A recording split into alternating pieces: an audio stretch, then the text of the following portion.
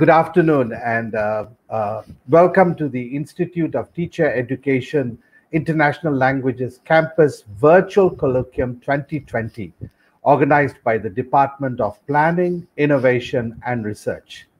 My name is Chandran Abraham from the Department of Planning, Innovation, and Research in the Institute of Teacher Education International Languages Campus, and I will be the moderator for today's presentation. We are truly privileged to have with us today Professor Richard Kiely. And today he will be sharing his thoughts on teacher research and implications for educational management. A little bit biodata about Professor Richard Kiely. He is a professor of TESOL and applied linguistics, linguistics who has worked in over 20 countries and in five UK universities over the last 45 years. Recent books include Exploratory Practice for Continuing Professional Development and Innovative Approach for Language and Teachers Researchers, a practical guide to research. It's what's up. Ladies and gentlemen, let's a format Professor Richard Hyde's session will last for about If you have any questions type them out, ask the questions and at the bottom of the screen. We'll have three questions and answer questions to respond to your questions. However, if we don't get your questions within today's webinar, we'll try to respond to it Lastly, we'd like you to like to encourage you to share today's webinar with social networks. Ladies and gentlemen, without further ado, please welcome Professor Richard Hyde. Over to you, Professor. Thanks very much, Dr. Chandran. Uh, um, I hope everyone uh, can see me now. Welcome to this uh, webinar. Uh, thank you. Um, I would like to thank uh, Dr. Chandran, Dr. Prema, and Dr. Selva, and the team at the IPG in KL, IPG KBA, um, uh, for organizing this and setting it up in uh, such an effective way. I am truly honored to be invited to contribute to this uh, webinar. I have uh, 45 years of experience, as Dr. Chandran said, many of those years in Malaysia. As a high school teacher, uh, many, many years ago, and more recently working with colleagues in the uh, Teacher Education Institutes and ELTC in Kuala Lumpur. My um, my talk today is on teacher research. It's about an approach to teacher research which I think is innovative and which I think uh, benefits the quality, the program quality that students experience in English language programs and benefits the institutes in which they work, the schools, universities, and other institutions. Um, if we can see um, the first slide, I don't know if uh, Prema, can you hear me?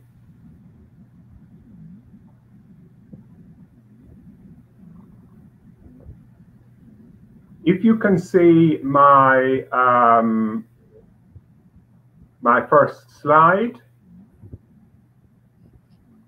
my my title today is uh, is teacher research and implications for educational management in ELT. The next slide uh, has the abstract. And the next slide, I have two key points from the abstract. So next slide. The two trends that I want to address today are a trend in uh, program management, where well, the second trend, if I can have the next slide, Prema. Yes, the, the, the, the trend of teacher research as a means of establishing effective strategies and activities for the classroom. Now, we are in a post method age, it is often called. And we are also in an age where there is a deeper understanding of context, the particular context of the language learning. And this means that teachers have to make a lot of decisions. The second trend is the program management trend, curriculum planning based on specific learning outcomes as a form of direction and support for teachers' work. So, on the one hand, teachers are supposed to uh, understand their context, analyze their situation, and make decisions. On the other, they are supposed to achieve specific competencies, specific learning outcomes as determined by the institution. Now, the next slide. The case for teacher research is um, is made in in uh, many many contexts, and the the rationale is research. My rationale is research is part of effective teaching. Good teachers are already doing research. And research enhances teacher learning, student engagement, and program quality. Um, a plug for my book here, a book coming out next year, Teachers into Researchers, a practical handbook for teacher researchers published by the Foreign Language Teaching and Research Company in China. Now, the next slide, please. The book is a long book, 14 chapters, for examples of teacher research, and 45 outline teacher research projects. So, a lot in that book. But today, in this talk, I'm going to tell two stories, point to some ways forward, set out a matrix of topics and themes and in the end, some questions and discussion. So the next slide, please. The first example, the first story, and this is from my work as, uh, as a teacher educator and researcher a few years ago. And I was uh, leading a program for high school teachers from China, a city in China. It was a professional development workshop. And what I'm going to present now is a summary of a four hour workshop, which I present uh, in a very brief summary form. Now, the teachers in this context were working in a city area, some urban schools, some rural, and some uh, suburban or semi rural schools. So varied context. The program they were teaching was based on a course book, which was based on the national approach, which was communicative language teaching. It had pretty recognizable communicative language teaching features. If we can go to the next slide for the summary of the workshop, when we the, the workshop was about using course books and the teacher's view was we have to follow the textbook. So we just followed the textbook this was like um, nothing interesting here we followed the textbook the next slide which is my uh, questions or my contribution as a moderator of this long workshop uh, any problems with that. Now, after I posed these questions, or after my contribution, I handed back to the teachers. There were some breakout sessions, and the answer to the question, any problem, was not enough time to cover everything. Well, the next question, the next slide, you can see we have to leave things out. So this is very interesting for me, and this is where the work of the teacher becomes uh, a teacher research activity. We can see their response in the next slide. Sometimes there's not enough time to do group work and projects. Now, as I said, the textbook was a communicative language teaching textbook, and it uh, uh, had a strong focus on interaction, student to student interaction. In the next slide, my question was, what do you feel is really important with each unit? And the next slide, we can see the answers to that, the grammar and reading comprehension. And the teacher's rationale was because of the examination. The next slide. What about writing? And the answer to that in the next slide is very important, but we sometimes don't have time for process writing. We do it on the board first. And what they described to me was uh, a process of uh, teaching writing, a process for the writing lesson, where they did uh, the task based writing, which was write a story, write an email, uh, write a description of a process based on some visuals. This was the task in the writing lesson. And they would talk about it, and the teacher would elicit the text. The correct text was then written on the board by the teacher, and everybody uh, would, would see that. And then at the point where the text was complete, the teacher would wipe the board clean and ask the students to do the writing task. And of course, uh, they did the writing task and it was perfect. Everything was correct. And the teachers then had a very, uh, a very acceptable task, a very manageable task of marking work which was largely correct. The next slide, please. What we see here, there are eight issues from this story that uh, are important, were very important for me and part of my learning, but are, in, uh, are important for understanding the role of research in the acts of teaching. The first one is what I call the normative reflex. And this is teachers, and teachers are right in feeling this they feel they are part of a community of practice. They feel they are doing things in the way they are done in that institution.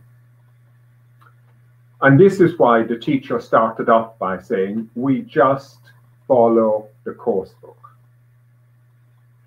The, the textbook, or the course book, the textbook, which is what the teachers used in the workshop, the textbook as syllabus this is increasingly the case. The curriculum, in terms of learning outcomes, is translated into a series of activities and materials, and this integrated form of outcomes, activities, materials is the coursebook, and this is what is the syllabus for the teachers. There is the issue of time. Now, when you are preparing materials, you have excess materials. Publishers know that, and teachers like excess materials. This is uh, this is the the reality in most teachers' work contexts. What the issue of time gives us is a need for selection, and this is where the teacher analysis and decision making gets very interesting.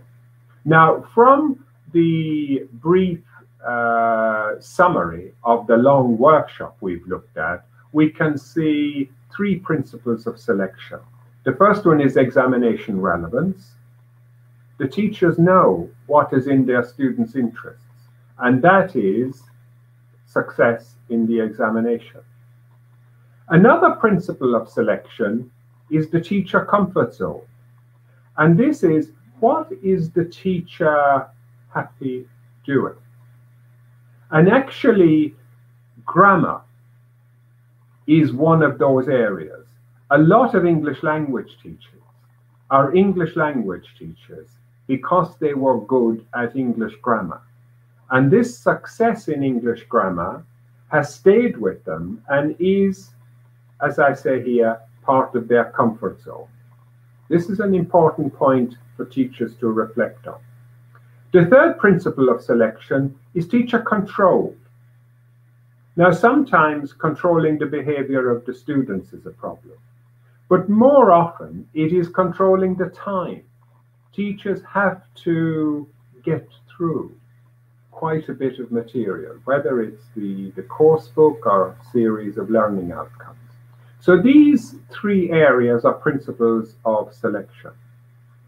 The, uh, one other point from this summary is about language learning and language use as a stimulus for language learning. This is a main pillar of communicative language teaching, and we can see that in the materials. The other point is memorization. Now, in communicative language teaching, there's a lot of uncertainty and indeed sometimes confusion about the role of memorization. But actually, in classrooms, teachers and students work together to use memorization. And we can see in the summary of the lesson I've just gone through, the teaching of writing had a large memorization strategy. And we also know successful learners use memorization. The final point is voices of diversity. And this last point is a point of skepticism about the brief summary I have presented, which suggests in the normative reflex idea that all the teachers in one context teach in the same way. Of course, they don't. They are diverse and they all have uh, the condition depends on in their description. What do you do? It depends. Depends on this, depends on that.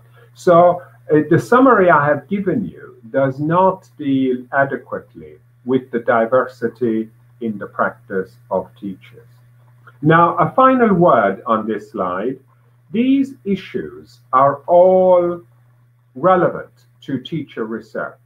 They are both uh, uh, evidence of a research orientation in the teacher's practice. The teachers are analyzing multiple dimensions of their context, and they are working within the framework they have to work, but with the analysis of what they see as possible and important. The next slide, please. Yeah, oh, yes, the in, thank you. I was just going to say there, the awareness of the teachers here is a part of teacher research. The next slide is the second uh, story I want to tell you today. Uh, and it's about classroom interaction. It is 10 seconds of classroom interaction. It's a lesson uh, from a UK English as a foreign language school, so based in the UK, a classroom in which I was doing uh, classroom interaction research some time ago. It was a class of 17 students.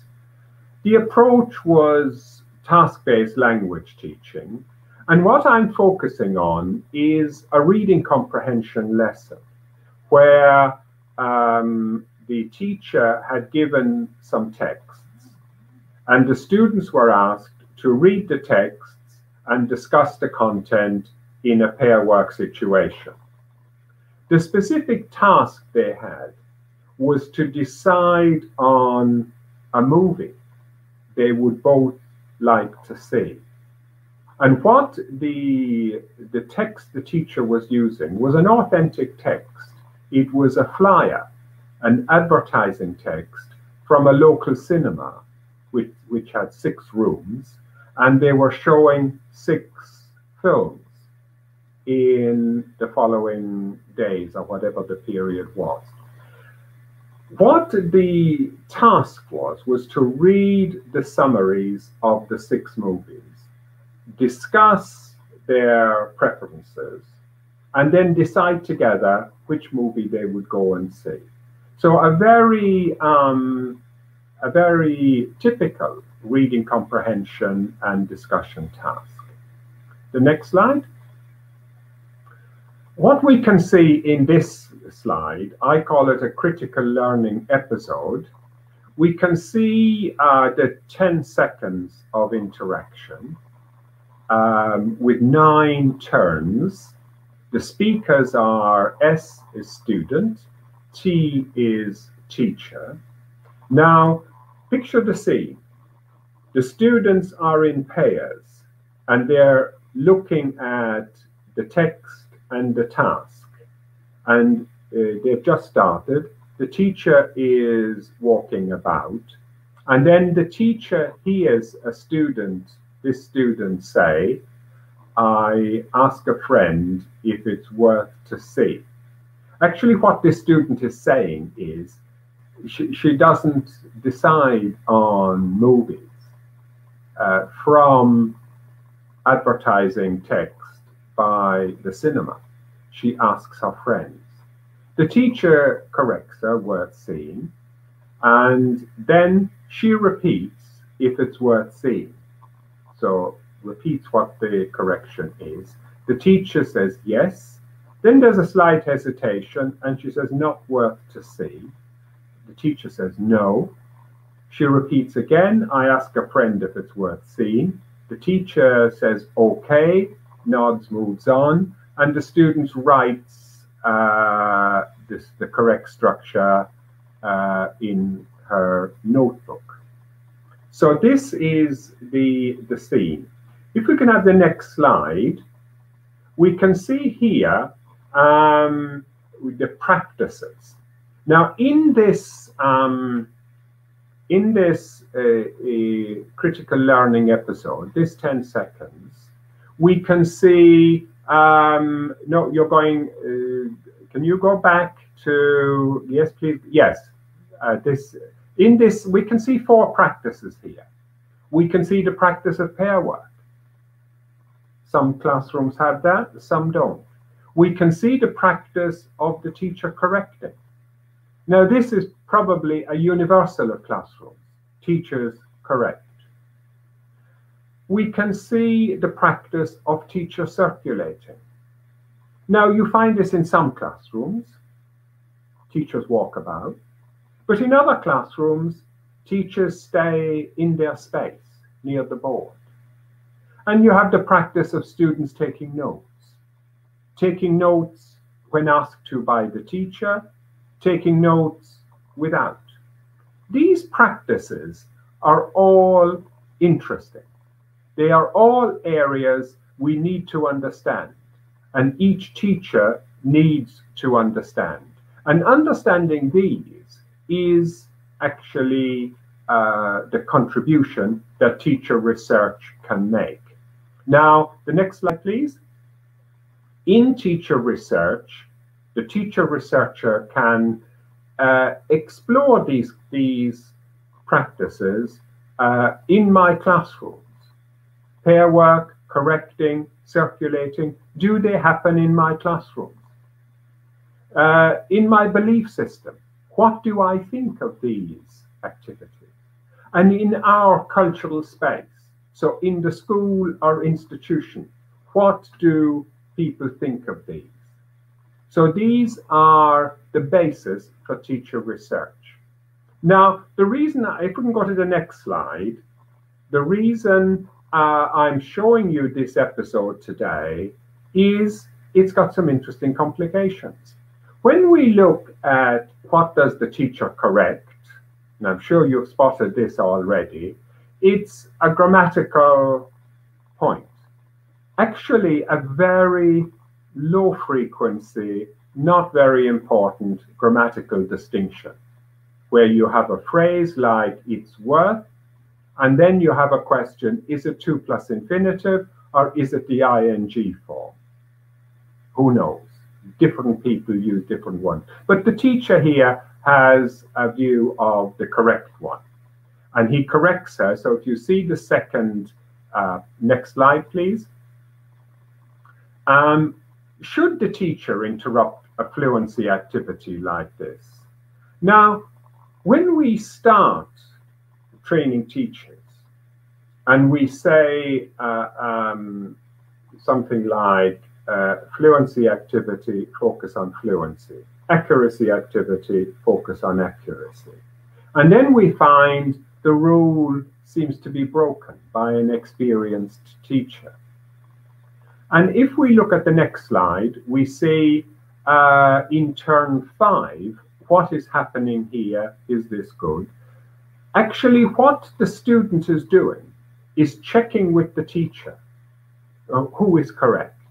The student actually thinks the teacher's got this wrong, that she's right and the teacher is wrong. So she double checks. And having double checked, she then is happy to accept the teacher's correction. Now, in the next slide, we have the teacher's rationale. This was in a research project and in a workshop. The teacher said, I corrected her because she loved grammar and I knew she would appreciate it, and she did. And in the next slide, we can see what I see here and what we decided in the workshop on this, which was a research into teacher learning workshop. This is an example of a teacher and a student doing mutually supportive engagement work. Now, in the research project uh, that this is from, and I've written quite a bit about, we found a lot of work like this. Teachers and students doing mutually supportive engagement work. And what we found were teachers were teaching individual lessons, a kind of private tuition within the framework of the lesson as a whole. And this is not a new thing.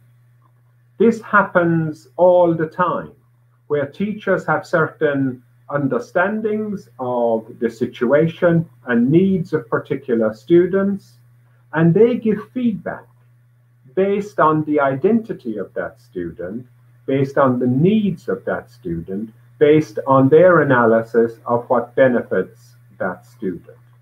And this analysis is actually the research work that is already within teaching. The next slide, you can see um, the publication, the book we wrote from this uh, project, investigating critical learning episodes, and that's on the web at that website. If we can look at the next slide. So stories of teaching, like the two that I've shared with you uh, in this webinar, these stories of teaching are the starting point for teacher research. And there is a need in ELT for teachers to contribute by sharing what they do, exploring why they do it, and explaining how they make it work.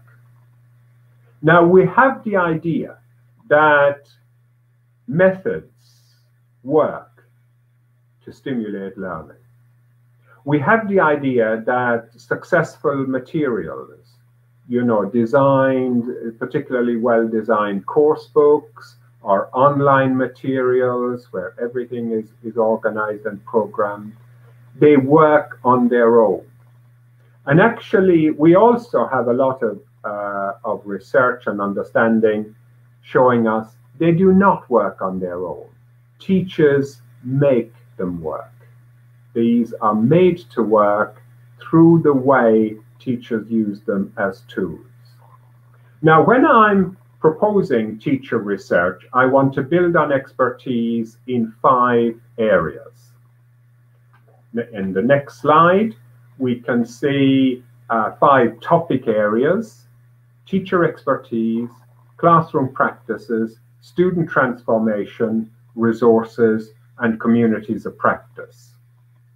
These are the topic areas in which I would position teacher research. The next slide. I would create a matrix between these five topic areas and five themes. And the themes I will take you through very quickly now. These are what teachers are doing in the classroom. Component one, analytic cognitive activity.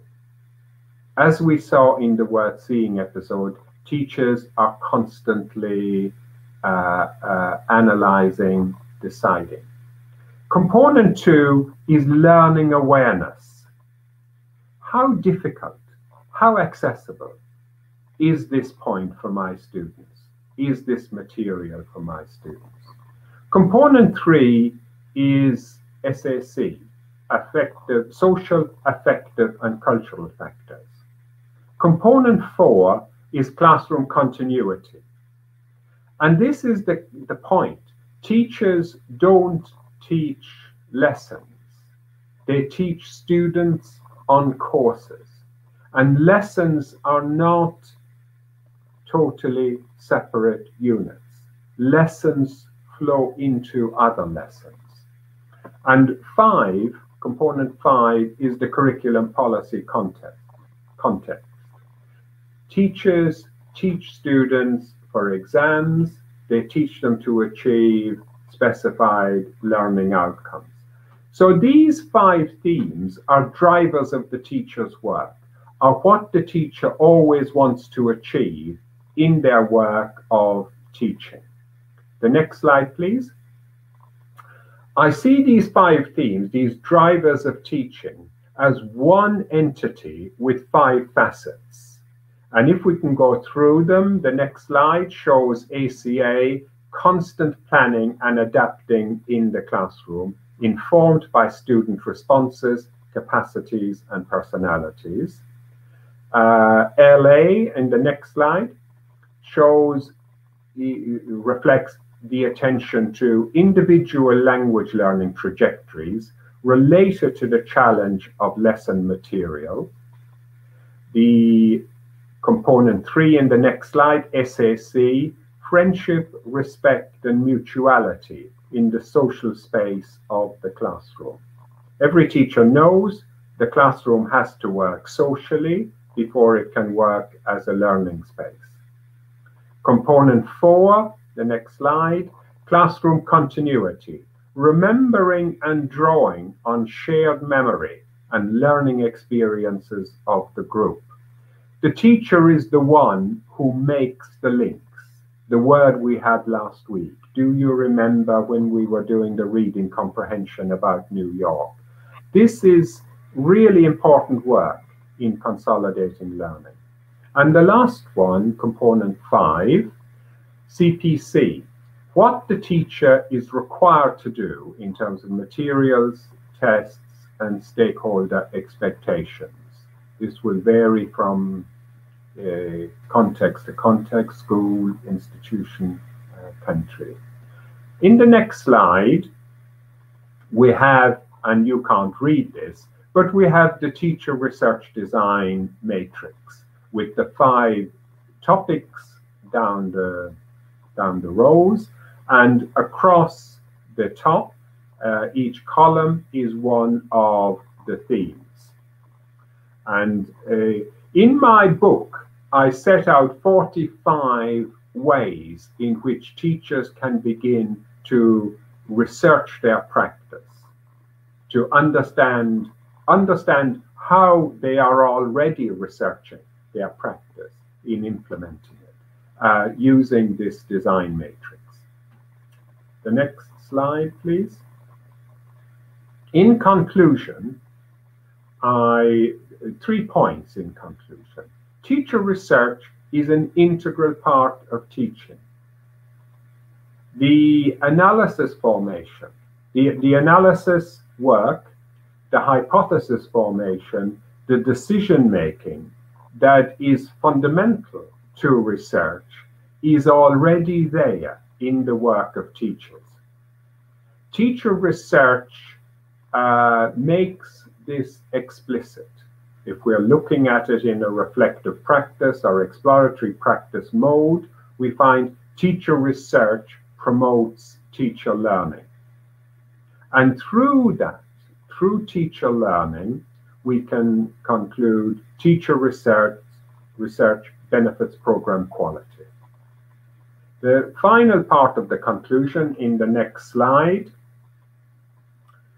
The question to ask, uh, how should I do teacher research?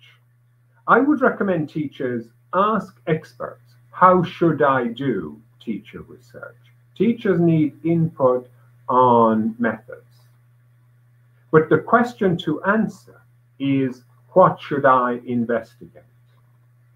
Now, in my experience, teachers often uh, feel they know the answer to the how should I do teacher research, uh, questionnaire, uh, uh interview, uh, methods like that. Teachers have some familiarity with methods. But what should I investigate? They look to experts to answer that. They look to the literature. My approach would suggest don't look to the literature, don't look to the experts, look at your own practice, reflect on your own practice, and you decide what you should investigate, what you as a teacher should research. Thank you very much. I think uh, we have opportunity for some questions now. Uh, Dr. Chandran is back. Thank you very much, uh, Professor uh, Richard. And I think uh, it has been very informative for us. there are a few questions here that have been posed, questions have been posed. And one of them is, with the many roles teachers have to play, how would you encourage teachers to engage in research? I think this is a concern by many of them because you have to have play uh, or you have got lots of things to do in school. How would you encourage them to be involved in research? Yes, so that is a really important question, and it is wrong to assume that teachers anywhere can uh, uh, automatically fit research activity into the work they have as teachers. But I think uh, when we have a good uh, policy setup, a good policy and resource framework for teaching, where we want to achieve high quality developing programs and experiences for students, we have to incorporate professional development for teachers as part of the work of teachers. Now, in my time, uh, when I started teaching 40 plus 45 years ago, there was the idea that a teacher had some training and they were qualified as a teacher, maybe at age 22 or 24. And then the idea was they are trained that is enough for the next 40 years. They can now work as a teacher without further training. No place would uh, subscribe to that idea now. Most systems would accept we need to have ongoing learning. We need to have lifelong learning in teaching as in other professions. Now, this means uh, investing in uh, professional development for teachers. My approach would be to ask the question how can we use that resource? How can we use the time and the mentoring to stimulate uh, teacher research? Um, related to that, I think we have uh, opportunities to study for um, uh, higher degrees, for masters or doctoral programs. And in many systems, teachers have the opportunity to have some funding and some time for doing that. So I think that is a resource that can be available. Um, I also think you have uh, uh, mentorship is part of that. And uh, mentorship is very good in uh, stimulating uh, uh, professional development. The, the final point I would say on that is an opportunity to share. And the question I would pose for for teachers and for leaders of teachers, you know, managers of institutions or schools or programs, where do teachers have a, an opportunity to share insights into their work? And from these uh, basic uh, provisions, it is possible that teachers will find an opportunity to construct and share with others what is happening in their classrooms and also explanations as to why. And through the act of sharing, then the knowledge and understanding created by teachers comes into the public domain.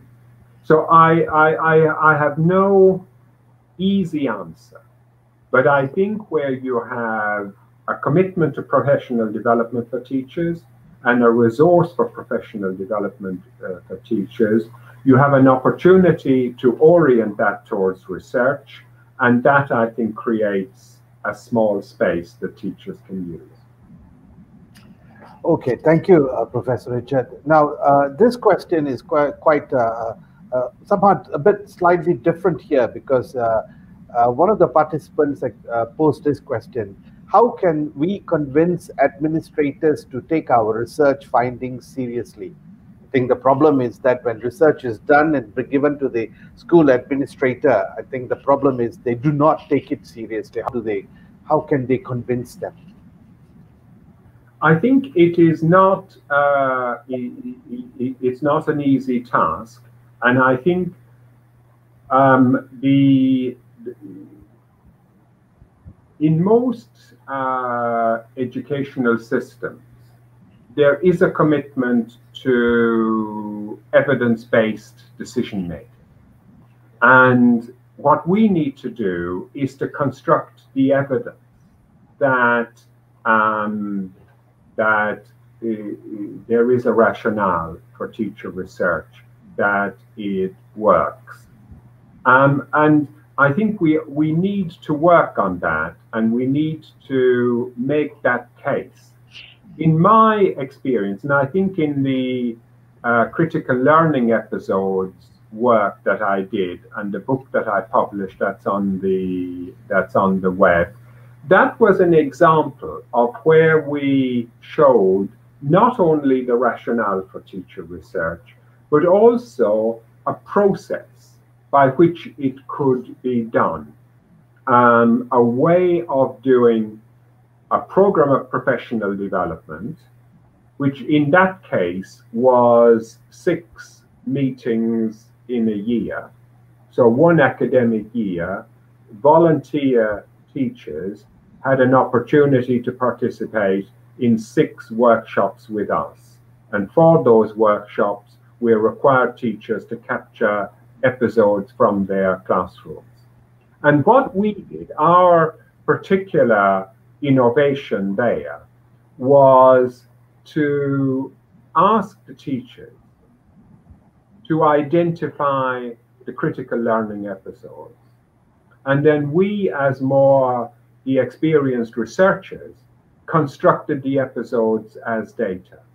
We did the, uh, the transcribing, we did the uh, uh, creating the video clips and the the technical work on the evidence on the data was done by the researchers. But the teachers were the ones who did the initial identification of critical learning episodes and did the analysis work. What does this mean? Now in a way it's uh, it's not easy to, to to um, it's not easy to get such programs off the ground. And in the area of communities of practice, I think that is an area where um, if you develop that and teachers have a forum for sharing, and this I think is where administrators, managers, leaders, what they have to do is to create the forum for sharing not national conferences, not, not, not sharing on uh, that kind of basis, but small local sharing once a semester, uh, once a year on particular themes, and simply create an opportunity for teachers to showcase. Then that is an important stimulus. It can start with a very low level of resource and then, of course, as the activity starts, the resource can increase. Thank you, Professor. Then there's another question here where uh, a teacher had posed here that, uh, you know, in his school, uh, the headmaster actually requests for more for quantity rather than quality of the research itself. So everybody talks about quantity, the number of research that it's going to be, uh, what do you call, uh, uh, people do participate. So what would you suggest? Is it uh, we got to focus more on quantity or quality?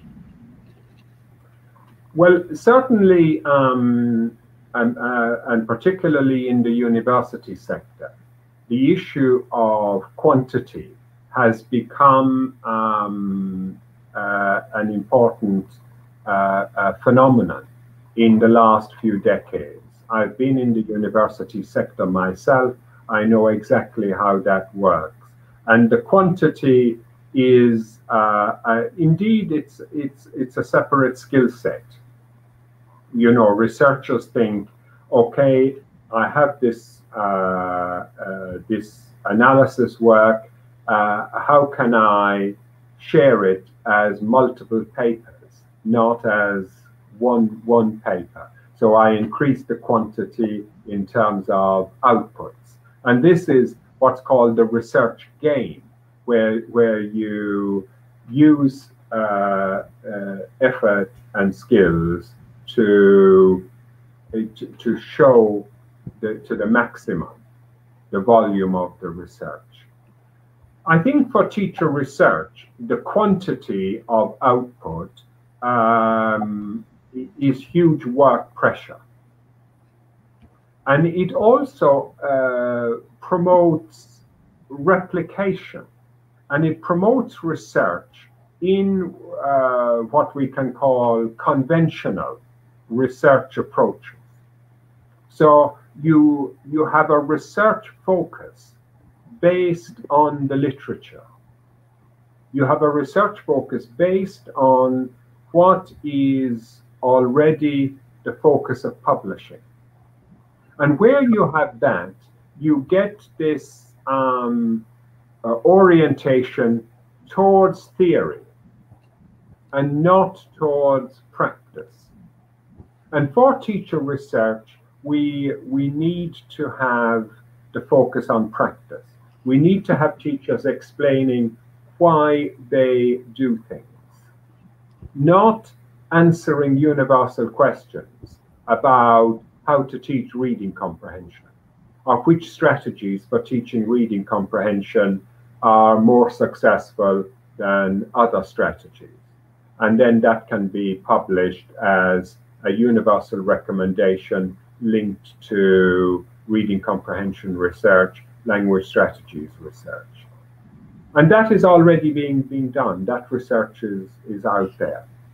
It actually doesn't make a great contribution to the learning of teaching.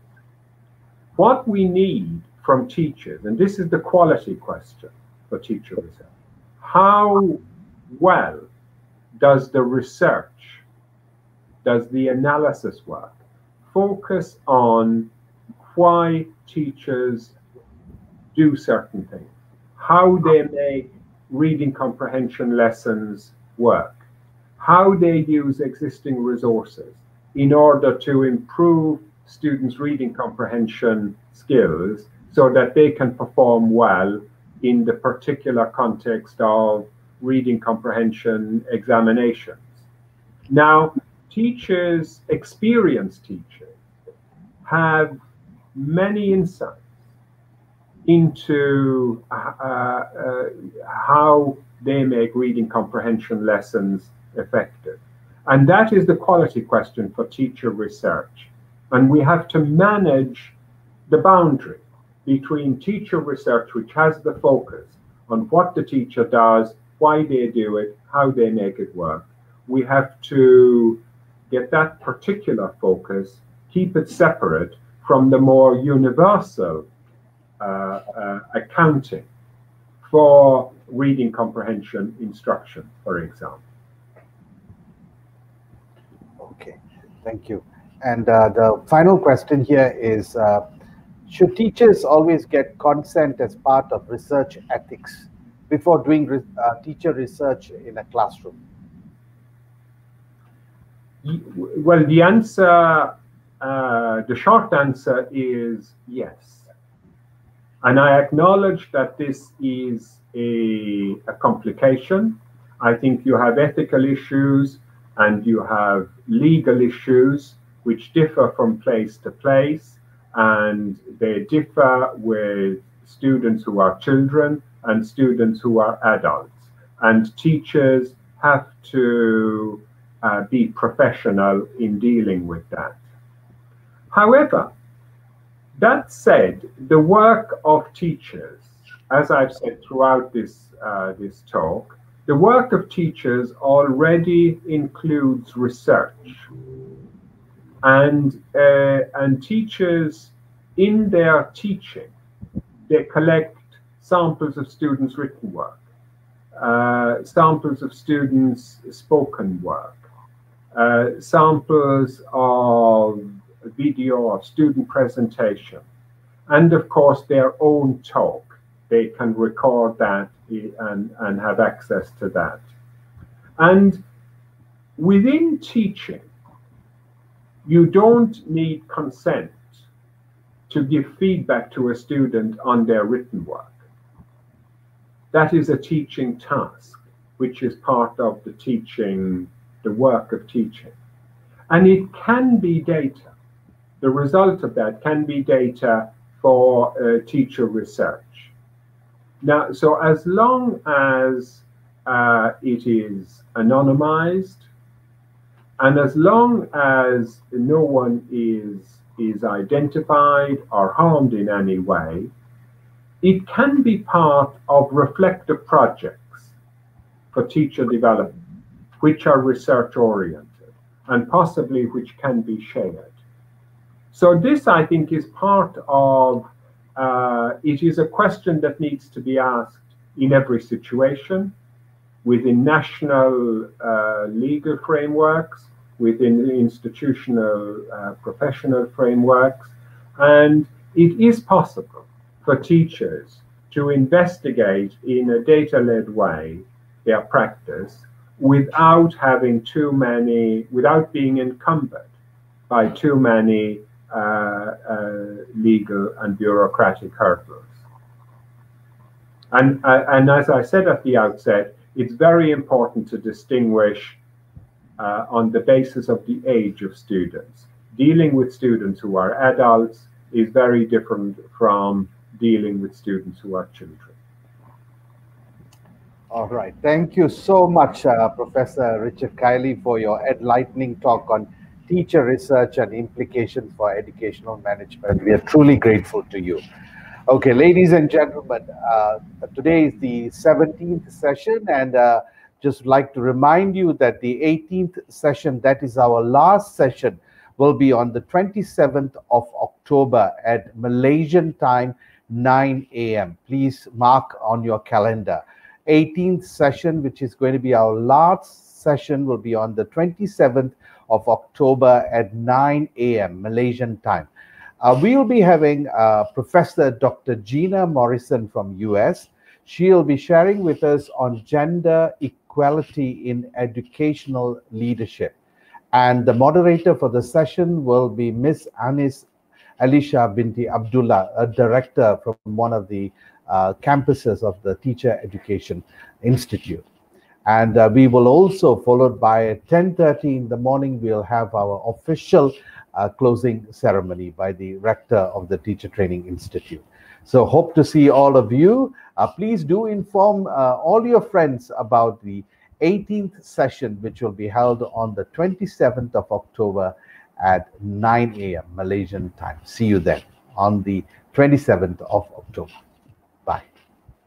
Thank you.